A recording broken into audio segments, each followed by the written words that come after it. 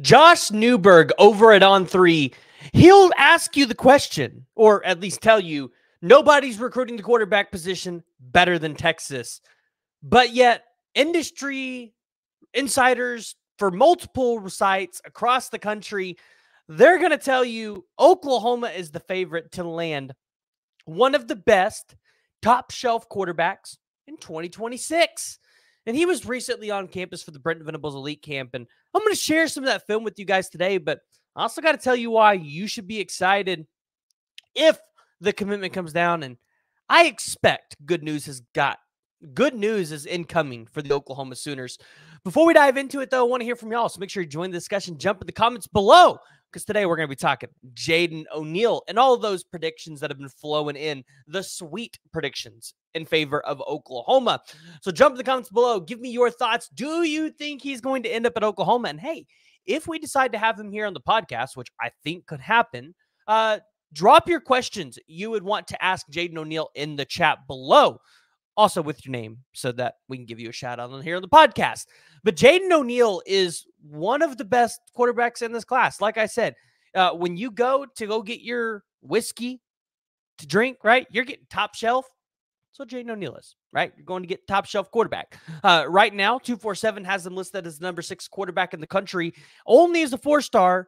But I'm telling you right now, Jaden O'Neal has the ability to be a five star quarterback probably by the time the initial like i know right now we have the initial 2026 rankings i'm talking about like the like the real 2026 rankings come out like when we finish 25 cycle and they get a lot of the 26 rankings done jaden o'neal is likely a five star and statistically when you look at MaxPreps those stats might not blow you away but when you watch the film of jaden o'neal here and you see just how smooth of a throwing motion he's got and you see just how pretty of a spiral he has on that ball. Uh, Jaden O'Neal, I'm not going to say he is the next Caleb Williams because it's going to be pretty hard to live up to Caleb Williams' expectations. He's going to be pretty close.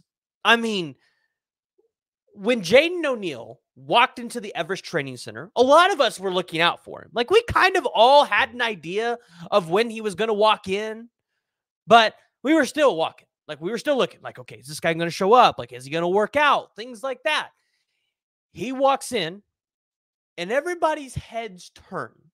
Everybody knew when Jaden O'Neal walked through the door, there was no doubt that was who that was.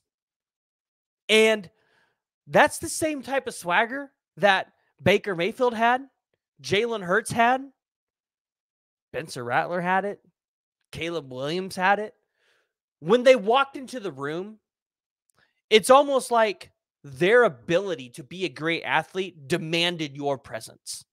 And it's the same thing on the recruiting trail because Oklahoma just landed a four star wide receiver in Marcus Harris. And you can't tell me that there was not some part of it being Jaden O'Neal, regardless whether we know that to be true or not.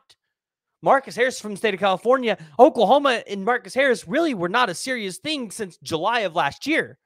All of a sudden, though, he schedules an official the same weekend, an official visit the same weekend as Jaden O'Neal's on campus for the official for the Brent Venables camps. And I'm just telling you, I think that's only the start because Jaden O'Neal is the type of athlete and the type of quarterback that other recruits are going to want to come play with.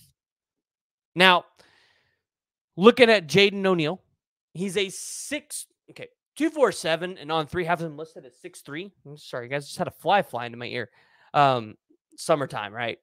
And I'm barbecuing outside. Does not help. Six three is what they have him listed as. This guy's probably all of more a six four. Like we were talking about that when he walked in. Uh, the way he's physically built, yeah, 200, 210, probably six four. Like solid.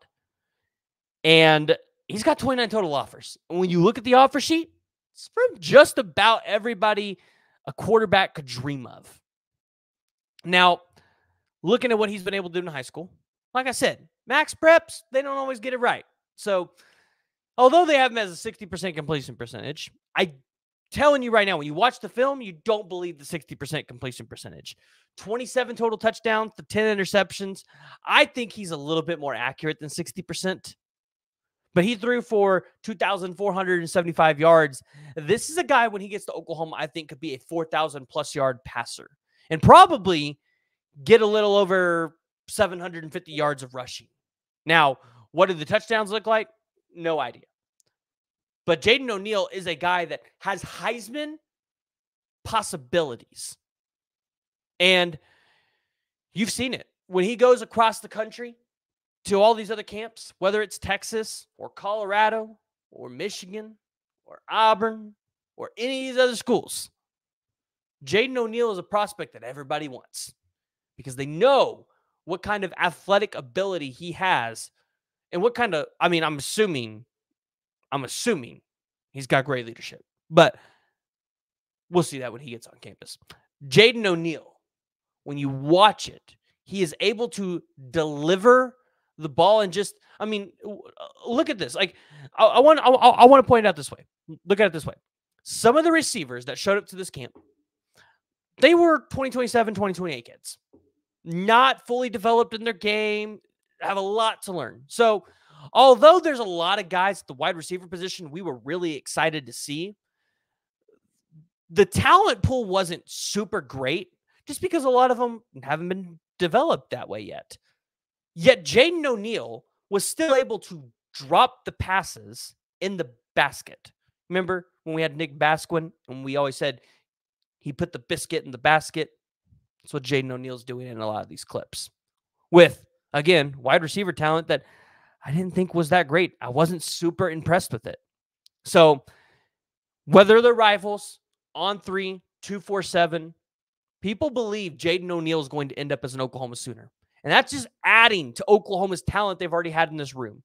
Kevin Sperry, Jackson Arnold, Michael Hawkins, Brendan Zurbrugg. And Kevin Sperry's not on campus yet, right? And he's still in the 2025 class. So he still has to make it here. He's doing a pretty good job, though. Like Kevin Sperry's done a good job at recruiting. Now, will he ever play a down of a starter in a starting role for Oklahoma if Jaden O'Neal comes? I have no idea. We're not going to have that kind of discussion today. But you can't say Oklahoma's not recruiting the quarterback position better than anybody else right now if they land Jaden O'Neal. Because he is, I mean, ah, we were literally talking about maybe him being the best quarterback prospect in this class. There's still ways to go. The evaluation periods for a lot of these sites, you know, they, they still got to evaluate these kids. But Jaden O'Neal's got that ability. So, Sooner Nation, you guys need to be excited. The predictions are dropping. There could be good news on the way for Oklahoma. But if you guys have made it this far and you guys have not already, make sure you jump in the comments below and you hit that like and you hit that subscribe button.